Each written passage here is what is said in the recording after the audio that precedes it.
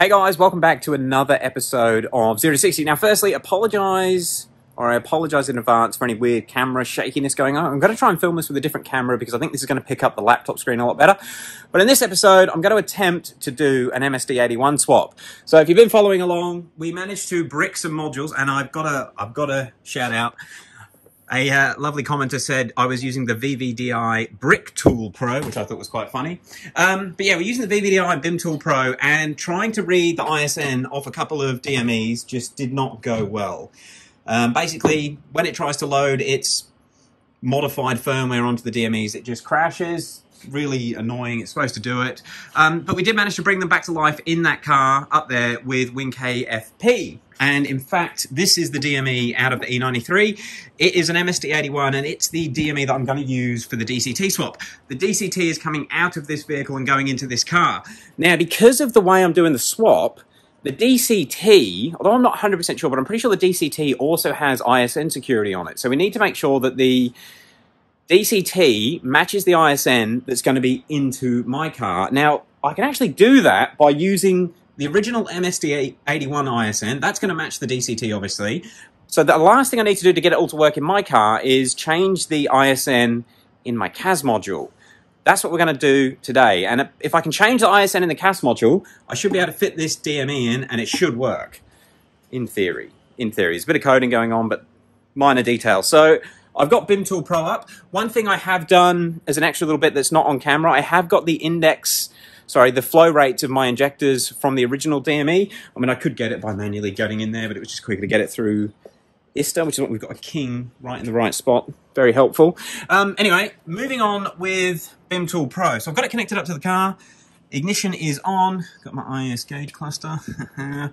uh, so what we need to do is go to CAS information and connect. So what I'm going to do, I'm going to get the EEPROM from my CAS module. Slowly. There we have it there. Now let's read the EEPROM. The dealer key should be taken away from the ignition switch. If its key is keyless, move it out of the car. There is no key in ignition. Okay, so we've got to take the key out. This is not a keyless key, that one, so it can sit up there, no worries. We'll click OK. Current EEPROM is not the whole EEPROM. Please read and save it, then continue with other functions. Okay.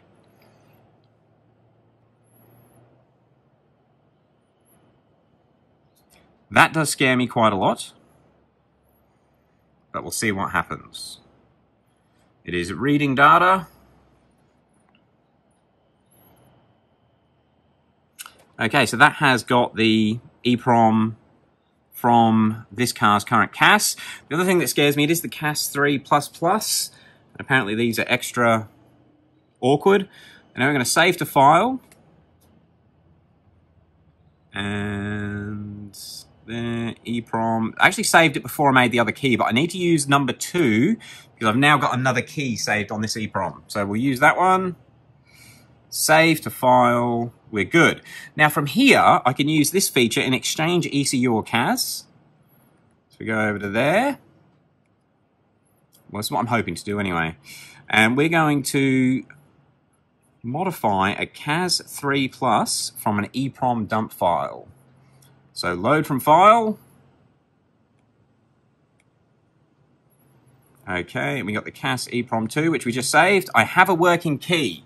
So the brick tool wants me to put the key into its little reader thing. Oh,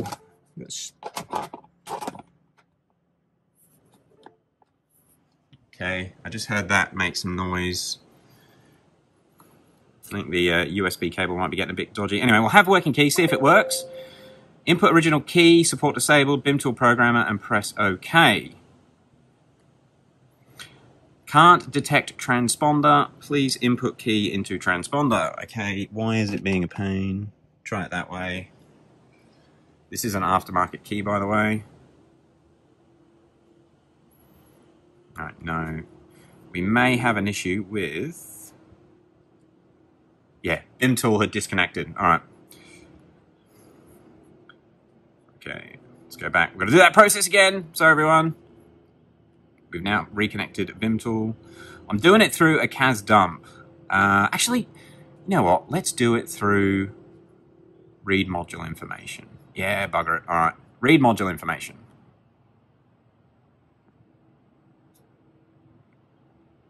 Read ECU ISN. Let's see if it will read the ISN straight through OBD without using the EEPROM.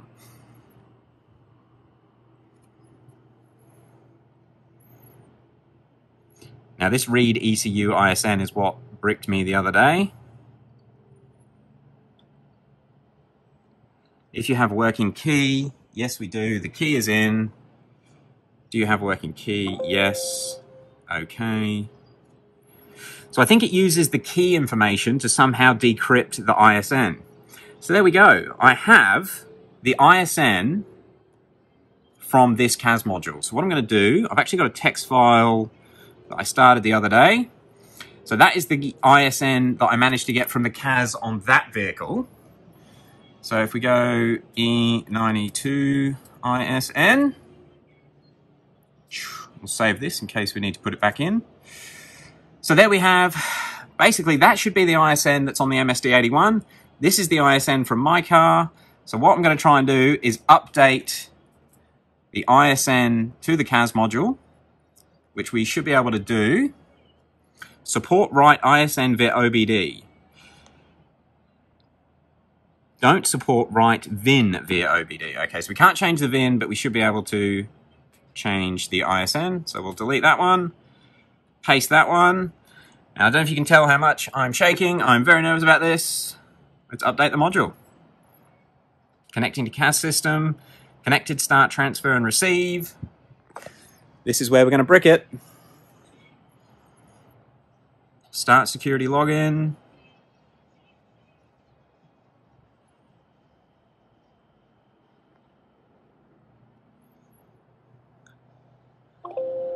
Dealer key should be taken away from ignition switch. Okay, I'm just going to take it away from this thing. I don't know if it's going to cause any problems. We'll go OK.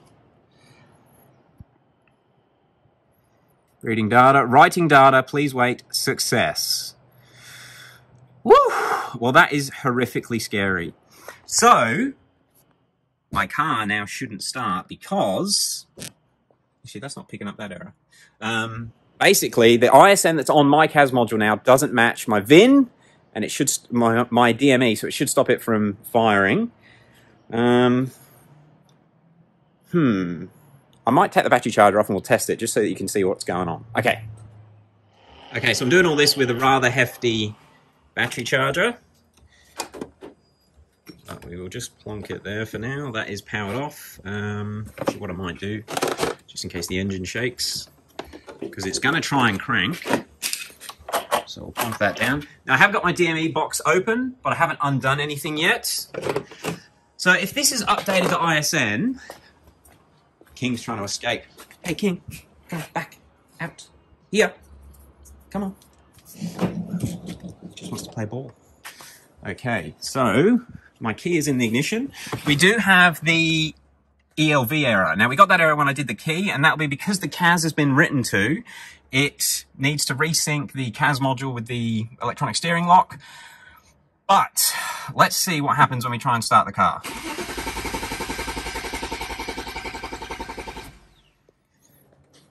That sounds terrible, but I think that means a good thing. So because the ISN in the DME no longer matches the ISN in the CAS module, the car is going, I'm not going to start.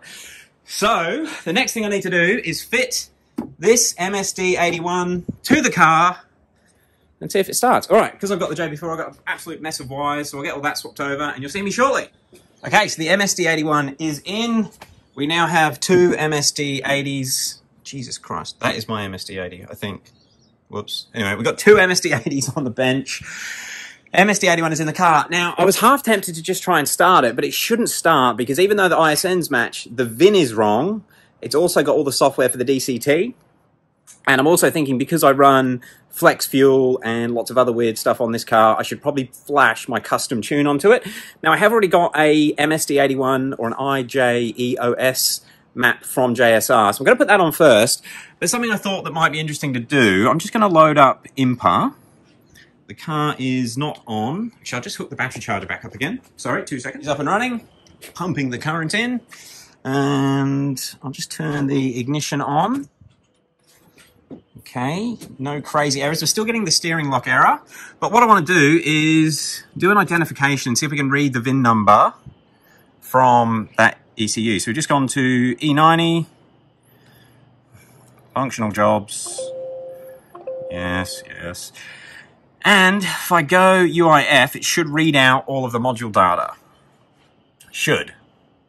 Okay, have we got DME there?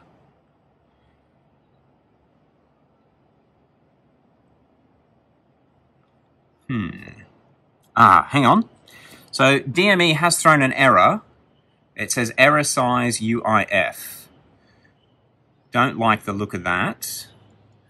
Not really sure why it would do that. What we might do is exit out of here, and I'm going to load MHD onto it with this.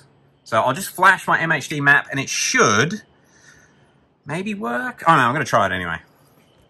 Really not sure what we're doing here. What could go wrong? Okay, so just a quick update. I connected um, MHD to the car, and I've got a screenshot here, but it showed the CAS VIN number and the DME VIN number were different. So the, the DME still had all the VIN number from the original donor car. All I've done is flashed the map that JSR has sent me. It is set up for a DCT car, apparently, and I guess it's just got something to do with the way the shifts will work. I don't know exactly, but he said it will work good with a DCT um, and a JB4. And I'm hoping that that updates the VIN number. So we need to update the VIN number on the DME for it to work as well. So even though we've got the ISN security done, the car will still want the VIN numbers to match for it to start, I believe. Or at least have all the crap in there for the flex fuel. So it is doing a write. It is a full write. Um, we're 17% in. And I'll update you guys once the write is done. So, 50 seconds left. And what I'm thinking at this point, I'll still have to modify the injector values in ISTA or INPA, um, but I'm hoping that once this write is done, the car should actually start. I hope. Scary. Scary. 30 seconds left. You guys can be with me for this scary moment. Um, just in case you're wondering, the error that's on the dash is just the steering lock error, and that's because I've flashed the CAS and it seems that when you flash these cache modules, cache? CAS modules, you do need to resync the steering lock with the CAS. I don't know, some sort of security thing. Um, five seconds left. So the car should do a load of rebooting. Just in case anyone's wondering, being able to do this with MHD is a relatively new thing. Um, I know guys that were doing MSD81 swaps one or two years ago, you couldn't actually change the VIN number successfully with MHD. So we'll just give it that 30 seconds. I'm going to lock the car. Hey, my key still works. I was also a little bit concerned about if I change the ISN, will the current keys for the car work? But they do.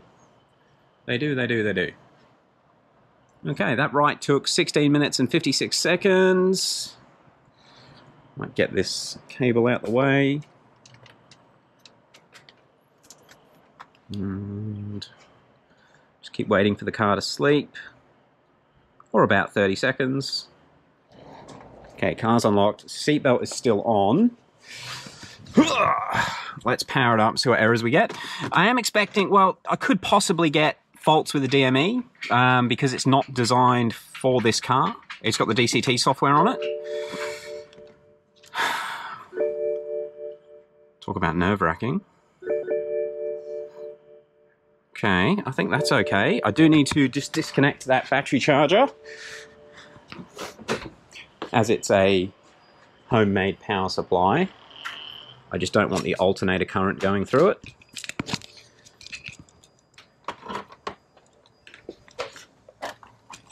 Just in case. The car's beeping away. There's no no errors on the dash. Let's see if it fires up. We've done an MSD81 swap. Wow, she idles. And this car is on E85, it's got about E60 in the tank, so it wouldn't idle nicely if it was still running.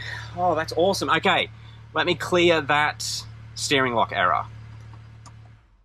Which we're gonna do with the Brick Tool Pro. Even though it didn't brick my CAS module, that's its new name. Until VVDI make it do what they say on the box, I'm calling it the Brick Tool. All right, let's get this plugged back in. And actually, I will switch you guys back over to the other camera. So actually, the VVDI tool is still on that same window it was where we wrote the ISN to the CAS. What I might just do, I'm just going to read out the CAS information again. Connect. Yeah, she's still talking to the car, absolutely fine. What we do need to do is just go sync CAS and ELV. Actually, to do this, we do need to power it on. Is it powered on? No, it's not. Oh, I've got the key out. Gotta put the key. The key has gone missing. I. Give me a heart attack. Right. Key on. Okay, so we do need the power on for this. We'll go sync CAS and ELV. Synchronization between CAS and ELV. Synchronization not possible. All right, we'll try it with the key out. Still haven't got my head around how this stuff wants to work.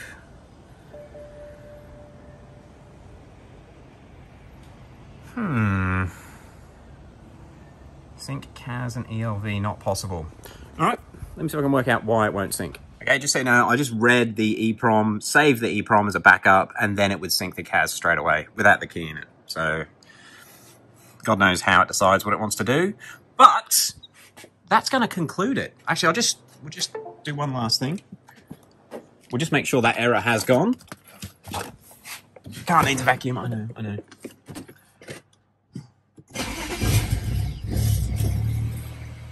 A little bit of a stutter on cold start's normal for the E85 in winter here.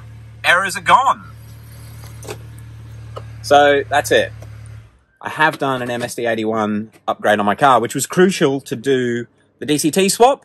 But hey, maybe some people will be in a similar situation. So if you can get your donor DME CAS module, you can use this tool to read the ISN from the CAS and then fit the donor MSD81 or the second-hand MSD81 to your car. The reason I want to do these videos, um, there's a lot of guys that can't get to a dealer or even a technician that has access to do all this sort of stuff. Um, and it's not always viable to post your hardware into someone to do it. So, like what I was thinking, a lot of guys could buy this tool. It is a thousand US dollars, but you can use it for the features you want to do, make a couple of keys, and then sell it on and maybe lose 200 bucks on the tool, but it might work out cheaper than even paying for the service anyway. However, on the same note, you do obviously have the huge risk of bricking something and then needing someone like Arno to help you out, which is what happened to me. Anyway, I'm going to end this video off here. Before I go and edit it, I will code my injectors in. But yeah, we've got an MSD81 in the car. That's sick. All right. So uh, it's, it's time to get the transmission out of that car and get it bolted into this one. I'm excited. Don't my IS gauges just look cool? All right, guys. Thank you for watching. We'll catch you on the next one. Actually, I just sort of tack it on to the end of the video. So to do the injector coding, okay, I suppose it's coding, the flow rate adjustments, you just go in ISTA, vehicle management, service functions, go down to powertrain, engine electronics, and then adjustment functions, adjust injectors, and then injection quantity compensation. And I actually did this on the RB turbo car a little while ago. I'm going to do it a different way. So was a new DME installed? Yes, it was. Continue.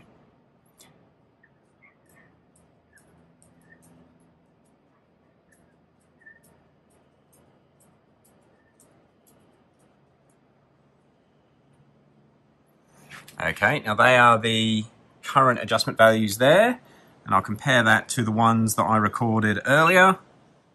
They are different, so we need to adjust them.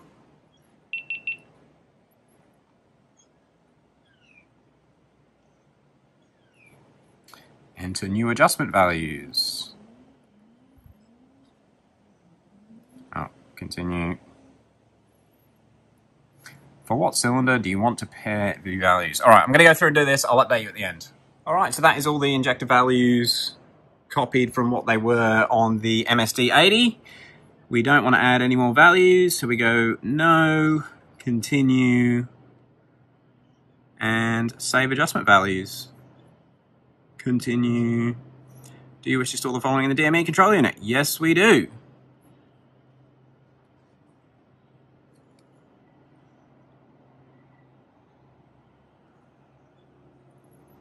Switch off terminal 15 and terminal R. So that is just pull this little thing out. And I'm going to lock the car. Because I'm using the INPA cable, sometimes it wigs ISTA out.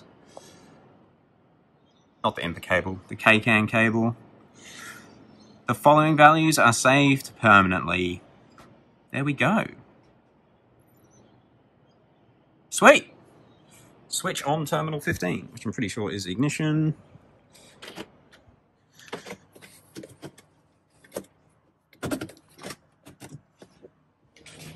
And continue. End.